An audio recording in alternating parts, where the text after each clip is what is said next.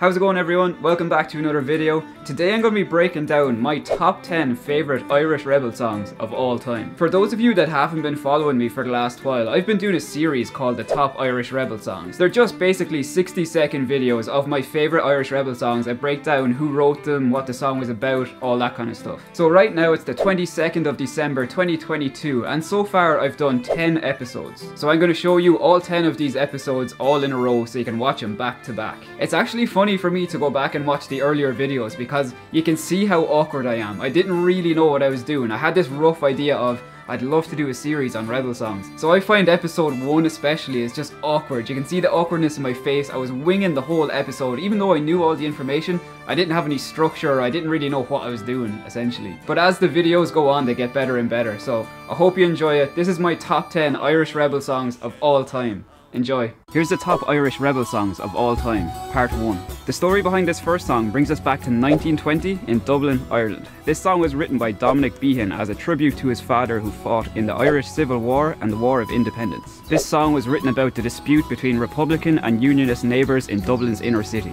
The most notable recording of this song was by the Wolfe Tones, which was released in 1972, and the song is called Come Out Ye Black and Tans. Where the Lyle runs the beat and those loving English feet they walked all over us. And every single night, oh, when me dad would come home tight, he'd invite the neighbours out with his chorus. Come out, you black and tans, come out and fight me like a man. Show your wife how you won medals down in Flanders. Tell her how the IRA made you run like hell away. This is the top Irish rebel songs, part 2. This song is written about the aftermath of the 1916 Easter Rising. Between 1914 to 1918 there was a split between the Irish volunteers. Approximately 210,000 Irishmen joined forces with the British Empire to fight in World War I. This created a lot of mixed feelings in Ireland. In April of 1916, Irish patriots James Connolly and Patrick Pearse took advantage of the fact that Britain were preoccupied with World War I. They seized some of the major buildings in Dublin City which included the GPO and this started a brutal battle that lasted six days. The week after the rising, the leaders of the movement were executed in Kilmainham jail. Canon O'Neill wrote The Foggy Jew, commemorating these brave Irish men that rose out against the British Empire and fought for Ireland. "'Twas better to die neath that Irish sky than at Sulva or Sudelbar. This song is called The Foggy Jew.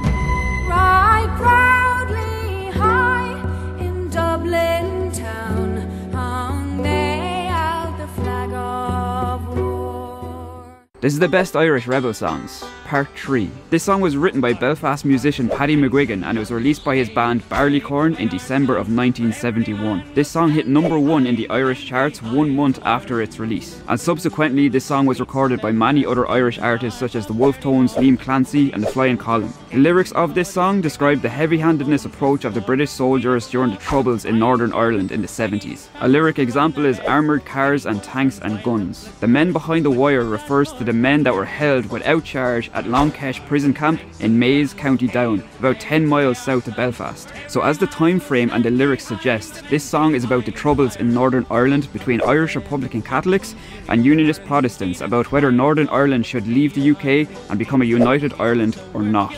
This song is called Men Behind the Wire. Cromwell's men are here again.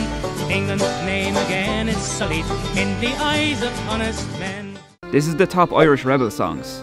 Part 4. Now there are some conflicting theories as to whether that this is a rebel song or not. First of all, this is a love song and is a beautiful but sad love song between Joseph Mary Plunkett and his wife Grace Gifford. This song was written in 1985 by Sean and Frank O'Mara and the storyline brings us back to 1916 Ireland. Joseph Mary Plunkett was executed on the 4th of May 1916 in Kilmainham Jail in Dublin. This was just hours after marrying his wife Grace Gifford. Joseph was executed for his involvement in the 1916 Easter Rising in Dublin, which gives this song its rebel roots. And although this is a heartbreaking love song, this song has rebel roots from the start about a man that was willing to die for his country.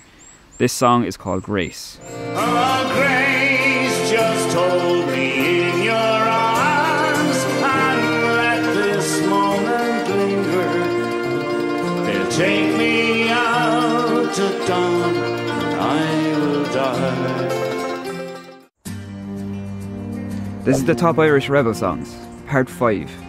This song was written by Bobby Sands while he was imprisoned in HM Maze, Her Majesty's Prison Maze, previously known as Long Kesh Prison Camp in Maze, County Down. This prison was used to house alleged paramilitary prisoners during the Troubles in the north of Ireland from 1971 to 2000. The storyline behind this song brings us back to the aftermath of the 1803 Irish Rebellion when Irish rebels were relocated to Australia. The lyrics describe the rough conditions as these Irish rebels sailed out to sea and how they longed for their home in Derry. The song also mentions the death of Irish Republican leader Robert Robert Emmet with these lyrics. O'Doherty screamed woken out of a dream by the vision of bold Robert dying. Bobby Sands describes at the end of the song that even after 20 years of trials, he would never give in. 20 years have gone by and I've ended my bond. My comrades ghost walk beside me. This song is called Back Home in Derry.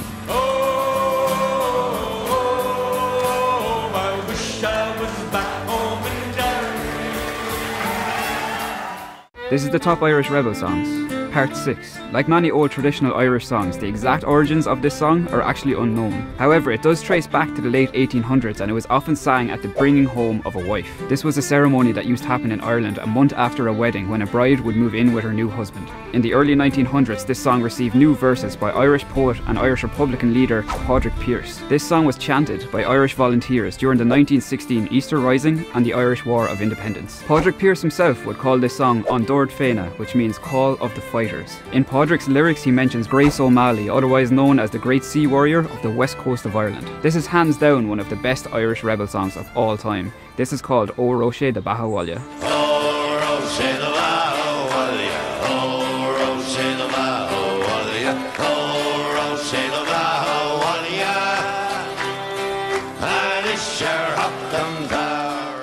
This is the top Irish rebel songs.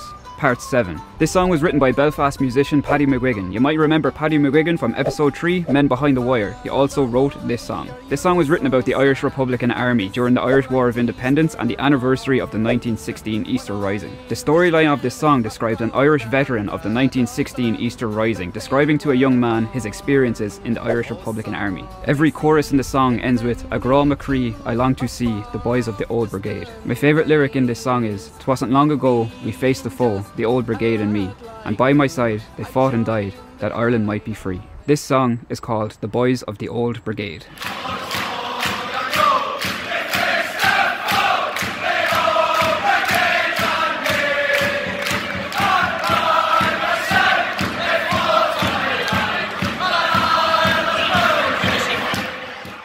This is the top Irish rebel songs, part 8.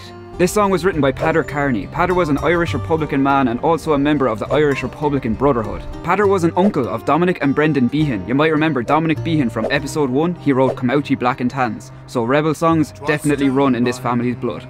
He wrote this song in around the time of the 1916 Easter Rising. However, in this song, he refers back to the earlier Fenian Rising of 1867. In this song, he speaks about meeting an old woman down by the glenside, and she was singing the lyrics, Glory O, Glory O, to the bold Fenian men. Popular versions of this song have been covered by the Dubliners, Jim McCann, and the Wolfe Tones.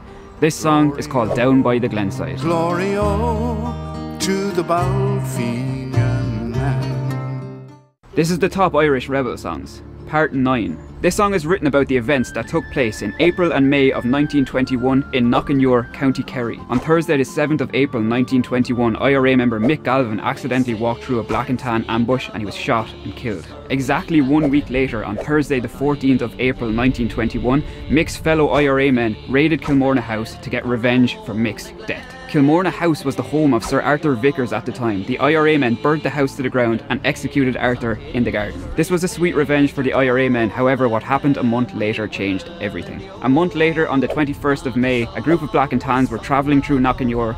They came past a group of four young Irish boys and decided to execute them. Drunk in rage and in seek of revenge, they lined the four boys up to be shot. First to be shot was Jerry Lyons, they then shot Paddy Dalton and Paddy Walsh. Fourth young Irishman by the name of Con D just witnessed his three friends get executed in front of him. He thought, he's gonna die anyway, he may as well try and run for his life. Con D took off sprinting through the field, he was immediately shot in the leg, however he managed to stay running and he kept running for three miles and he never got found. Con D continued to stay in hiding and was never found by the Black and Tans. And the song that's written about these events is called The Valley of Knockanure. What's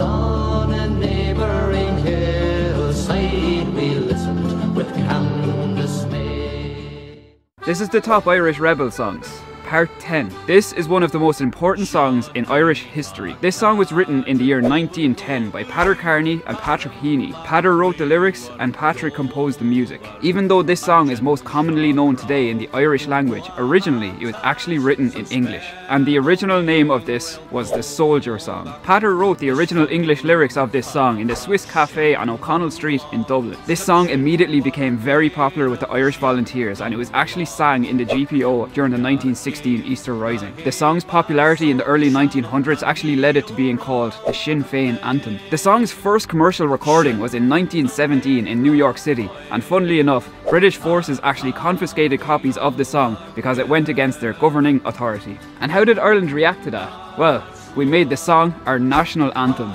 This is Amhrán na bhFiann, aka the Soldier Song.